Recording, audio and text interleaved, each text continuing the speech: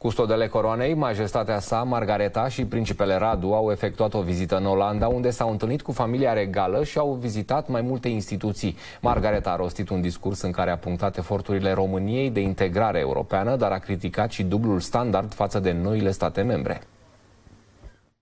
I would like to argue that instead of being half empty, the glass is actually half full, and that both Romania itself and the European Union with Romania at its core, are making progress. But the starting point for all activities is to stop patronizing the new member states and to avoid threatening them by artificially extended conditionality clauses. Various proposals to use political conditionality in the disbursement of funds from the next seven year budget of the Union in return for certain political concessions are not only illegal under existing EU treaties, but also guaranteed to divide rather than to unite Europe.